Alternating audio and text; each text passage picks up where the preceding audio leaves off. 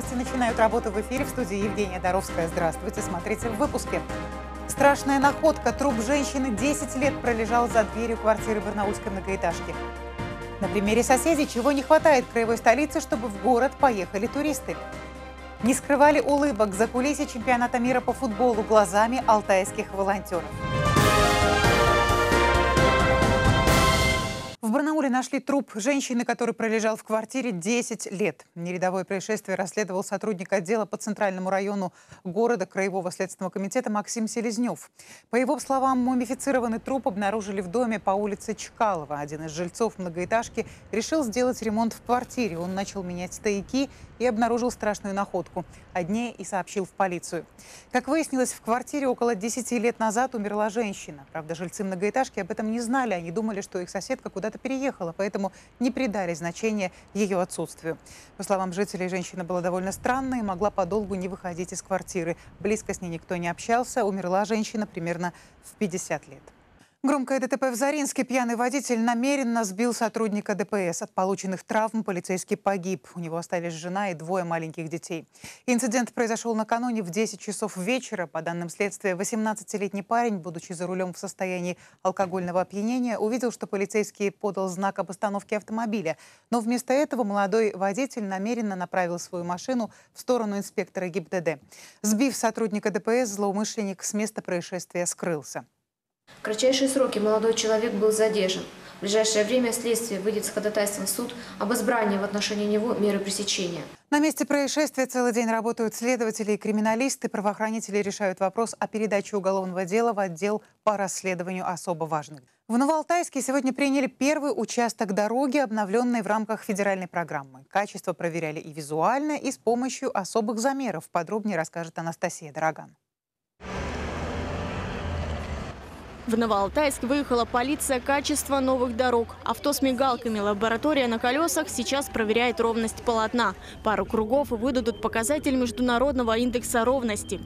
Ямы или кочки, колесо двигается. И вот эти движения фиксируют датчики выводят в виде графика. ГОСТ нормируется 2,6 мм колебания на метр пройденного пути. Угу. Здесь, ну, здесь у нас 2.1, 1.0. Мы если проедем сейчас по какому-то старому участку дороги, там будет около 7-8 Почти 500 метров нового полотна по улице Прудская. В рамках программы «Безопасные качественные дороги» этот участок в Новоалтайске сдали первым. На семи ведут работы. Убитые дороги выбирали сами жители. Их рейтинг одобряют и власти. Здесь много автобусных маршрутов, школа, магазины, храм. Нам э, недавно присвоили статус э, территории опережающего социально-экономического развития. Это дополнительный стимул, э, чтобы привлечь э, э, сюда инвесторов. Ямочность здесь была серьезная. Отфрезерована э, поверхность существующая. Устройство было выравнивающего слоя из пористого асфальтобетона и устройство покрытия из щебенисто-мастичного асфальтобетона. Дорожники заверили, полотно прослужит минимум 5 лет. Визуально его качество проверили представители УНФ, замечаний нет. Специалисты следили за строительством на каждом этапе. Отбор материалов, производство смеси, укладка слоев. И так с любым новым участком дороги в крае. Если что-то пойдет не так, да, то есть э, в процессе эксплуатации будет образовываться колея, накаты, трещины, разрушения. Бывает э, у нас подгрунтовка э, перед, асфальт, перед устройством асфальтобетона, а устройство подгрунтовки недостаточно качественно, либо не на всю площадь, либо неравномерно. Переделок не было. До октября по федеральной программе в Новоалтайске сдадут 8 участков дорог общей протяженностью почти 8 километров. На их строительство выделено 106 миллионов рублей. Анастасия Дороган, Андрей Печоркин. Наши новости.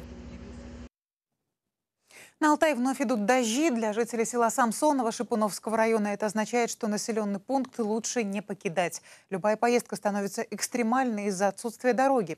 Весной, осенью и в грозу обычный поселковый путь превращается в болото. Там колея чуть ли не в колено, ямами бывает. И получается стоит как каша, и вся эта колея скрыта под кашей. То есть легковая, если машина будет ехать, она даже не поймет, что эта колея там есть. Он просто проваливается и висит там, пока кто-то не приедет на тракторе и не вытащит. Любопытно, что на половине пути асфальт есть, но со стороны соседней деревни. Подъезд к Самсоново представляет собой обычную накатанную дорогу. По сообщению сотрудников Алтай-Автодора, на этом участке пути работы проходят регулярно, но это лишь отсыпка щебнем. Запланированы они этим летом.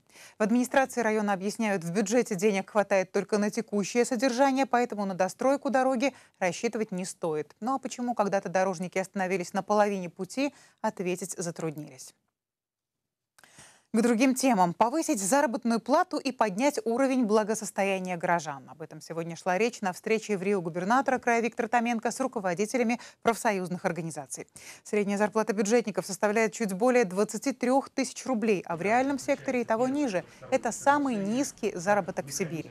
Руководители профсоюзных организаций обратились к Виктору Томенко с просьбой решить проблему. По мнению в Рио губернатора, увеличить доходы можно за счет развития экономики и создания новых рабочих мест с высокой заработной платой на предприятиях. Постепенно вырастет и средняя зарплата в крае, отметил Томенко, на которую начнут ориентироваться работодатели других сфер. Реализация здесь новых проектов, созданием новых рабочих мест, заработная плата, на которых будет выше средней, которая есть по краю, уже будет приводить автоматически к росту этой самой средней. Будет средняя расти, будем среднюю тогда объективно и обоснованно и у бюджетников поднимать. И, соответственно, все остальные предприниматели, работодатели в частном секторе, особенно которые работают, естественно, будут ориентироваться на то, что у бюджетников происходит. Ну а теневой бизнес нужно выводить из тени и избавляться от гаражных предпринимателей. Об этом Виктор Томенко сегодня заявил уже на рабочей встрече с представителями малого и среднего бизнеса. Как живут и с какими проблемами сталкиваются, он узнал, что называется, из первых уст. Руководитель одного из крупнейших предприятий края по производству бытовой химии и косметики знакомит гостя со своим детищем. Говорит, продукция, это более 700 наименований, есть не только на полках магазинов России, но и стран СНГ. При этом, чтобы оставаться на рынке и быть конкурентоспособными, необходима постоянная модернизация. В развитие этого производства, по словам директора, ежегодно вкладывают около 100 миллионов рублей. Надо, конечно, искать э, возможности это субсидии. Мы получали субсидии, вот, э, ну, я вспоминаю, до 2016 года. После этого, значит, субсидий больше нет. Мы тогда получили через э, комитет по предпринимательству, получили 27 миллионов. Да, ну, это небольшие деньги, но все равно они помогли нам, значит, купить какое-то оборудование и прочее. По словам предпринимателей, к сожалению, не всегда размер собственной прибыли соответствует реальным затратам. К тому же палки в колеса ставят так называемые гаражные, другими словами, нелегальные бизнесмены. Они умышленно снижают цены на свою продукцию, которая далеко не всегда качественная, но из-за своей низкой стоимости пользуются спросом. Таких предпринимателей, по мнению временно исполняющего обязанности губернатора края Виктора Томенко, непременно нужно выводить из тени либо частично, либо полностью они сегодня у нас с вами отсутствуют в легальном поле экономическом. Это за собой влечет э, огромное количество проблем и для потребителей, и для властей, и для бюджета, и для самих этих предприятий, и для работников, которые на них работают. В общем, это полностью негативная ситуация, которую надо преодолевать. Еще одна проблема, которая на протяжении нескольких лет, по мнению экспертов, является больной мозолью – это отток налоговых отчислений за пределы региона. Ряд крупных предприятий, сменив место регистрации, продолжает работать в Алтайском крае. Но налоги отчисляют не в краевую казну. Другая проблема с малым и средним бизнесом. Их налоги просто душат.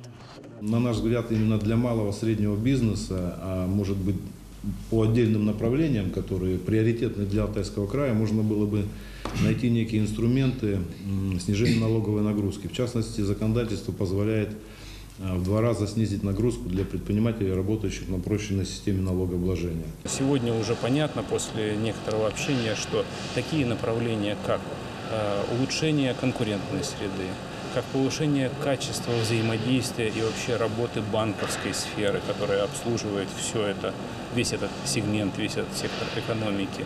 Конечно, разворот или, можно сказать, больший учет в налоговой политике именно стимулирующей составляющей. Это очень важно, и эти направления я поддерживаю.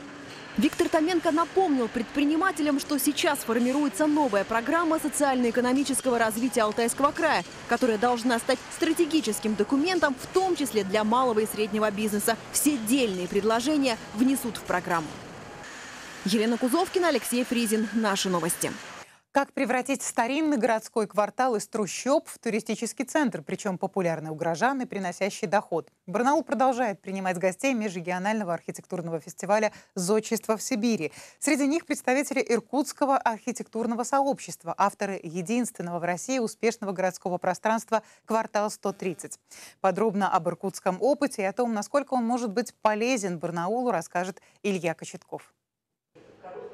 Такие проекты называют проектом мечты. Был участок в 6 гектар в историческом центре Иркутска, на неудобном Косогоре. Старые ветхие дома, криминал, но вместо того, чтобы снести и застроить многоэтажками, городские власти в конце 2000-х решили создать здесь особый исторический квартал. Большую часть инвестиций, почти 6 миллиардов рублей, вложили частные инвесторы. Итог – прогулочная зона с ресторанами, магазинами, музеями, сотни тысяч туристов в год, 2000 рабочих мест, миллиарды рублей налогов и десятки восстановленных памятников архитектуры архитектура. Многие барнаульцы слушали это с плохо скрываемой белой завистью, ведь еще в советское время на улице Анатолия и чуть ниже тоже планировали сделать подобный квартал. Помешала перестройка и нагрянувший капитализм.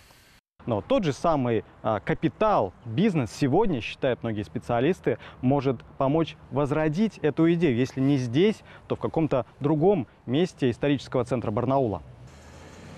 Например, на территории так называемого туристско-рекреационного кластера. Один из авторов «Иркутского чуда», архитектор Елена Григорьева, говорит, здесь вполне могут появиться свои барнаульские исторические кварталы. Но для этого надо придумать, как и зачем должны приходить сюда горожане, а за ними и туристы. Сформировать вот этот вот поток и насытить вот этот вот путь началом, э, целью, а лучше вообще транзитом, чтобы этот поток был транзитный.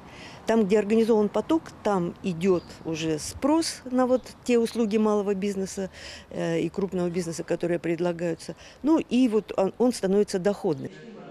Архитектор Александр Дерин говорит, многие профессионалы еще в начале разработки туркластера просили местную власть подумать именно об этом. Их не послушали и зря. Здания, включая сереброплавильные, продолжают ветшать, улицы практически пусты. Все потому, считает Деринг, что не подумали о главном, об интересах людей. Подлатать там, сделать какую-то ливневую канализацию, да, но здесь положить плитку. Но а для чего? А куда? А зачем? А как это будет работать? Вот это непонятно. Как э, бизнес, который там был в районе, скажем, Старого базара, да, или еще где-то, сейчас они растеряны, они не знают вообще, что делать. Ну, потому что нет комплексного проекта, потому что они не понимают, что тут делать. Пример Иркутска четко показывает, успешный проект по комплексному восстановлению исторической части города возможен, только если власть, бизнес и архитектурное сообщество станут работать сообща. И тогда, возможно, и у нас в историческом центре наконец появится свое барнаульское чудо. Илья Кочетков, Николай Шелко, Наши новости. Алтайская делегация волонтеров вернулась с чемпионата мира по футболу. Сегодня они встретились с журналистами. Всего от нашего края на главный спортивный праздник года поехало 20 человек. Пока весь мир болел игрой, 15 тысяч добровольцев со всех стран сутками дежурили на стадионах, оказывали медицинскую помощь, встречали гостей и общались со СМИ. Алтайские волонтеры работали в четырех городах – Москве, Санкт-Петербурге, Сочи и Екатеринбурге. Из-за плотного графика волонтерам не удалось увидеть все игры, но полтора месяца они находились находились рядом со всемирно известными футболистами улыбались, не скрывая этого, и нам было совершенно без разницы, смотрят, смотрят ли на нас сейчас наши функциональные менеджеры, будут ли они нас, они нас ругать за такие эмоции. Мы улыбались и радовались всем. Как, сначала вышел Жирков, я помню, мы ему порадовались. Потом прошла вся египетская сборная, и потом уже пошла вся наша российская. На первом матче к нам приходил как раз-таки болельщик из Саудовской Аравии именно после первого гола, когда забила Россия. Он жаловался на головную боль, поздравил нас всех с этим голом и сказал, что у него заболела голова именно после из-за того, что Россия забила им гол. Стать участниками события было совсем непросто. Участники подавали заявки за полтора года до чемпионата мира. Они прошли огромный отбор собеседований по телефону и скайпу, требовалось знание английского языка и учитывались личные достижения. Барнаульскому приюту «Ласка» нужны рабочие руки. Из-за большого количества животных, которое растет, с каждым днем мест для размещения не хватает. Сейчас в приюте содержится более 600 собак и около сотни кошек.